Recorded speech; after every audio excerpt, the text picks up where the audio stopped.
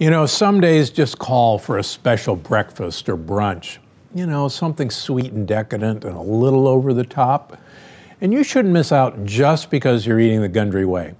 That's why I came up with a plant paradox friendly version of everyone's favorite indulgent breakfast, blueberry pancakes.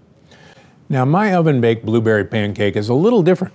For one, it's not made of wheat flour, and it's not slathered in maple syrup.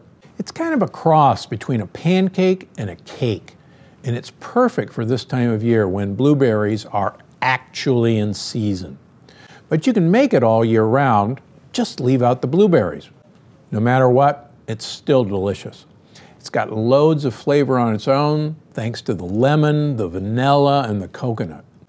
And since you make it in a blender, you're only going to get two dishes dirty making breakfast the blender and a pie tin.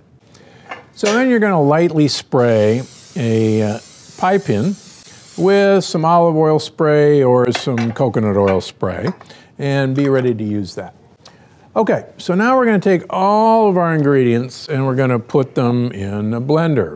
So we're going to take some coconut oil that we've already melted and we're going to take some vanilla extract. Please use the real stuff. We're going to throw in some salt. We're going to use aluminum-free baking powder.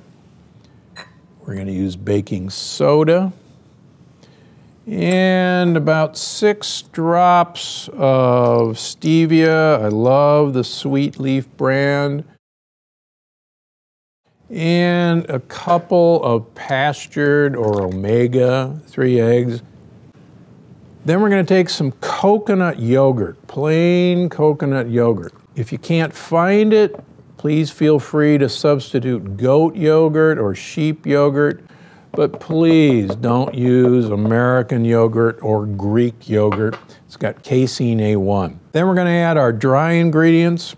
We're going to take some coconut flour and some almond flour and some tapioca. Now, I actually prefer cassava, which is more coarse than tapioca, but they're both from the same root. And we're going to put all that in our blender.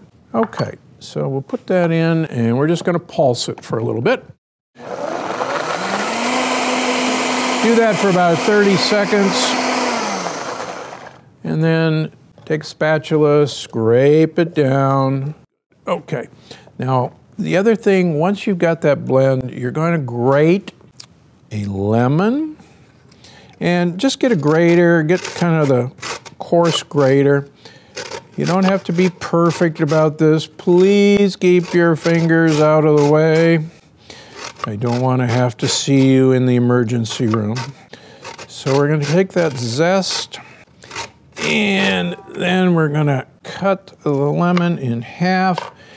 Use a juicer because a lot of our lemons, particularly here in California, if you're coming out of the yard, are full of seeds. And you don't really want seeded blueberry pancakes. Okay, so we're going to throw that and the zest back in. And if you want to do this as part of the first step, that's fine with me. And in goes the zest. Don't be afraid of the zest. Believe it or not, there's an amazing component in lemon peel called limonene that I've talked about before. It actually contains a really cool compound, so it's great for you every day. Okay, back we go. Stir that around. Great. And we're ready to go. And that's really all you need. This is going to be fairly thin looking, and that's going right into our pie pan.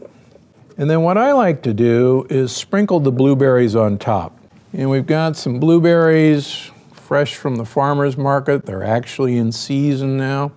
And we're just going to put not too many, but a good handful of blueberries. Remember, fruit is a treat. You have to treat it like candy. Okay, we're ready to throw this in the oven. And away we go.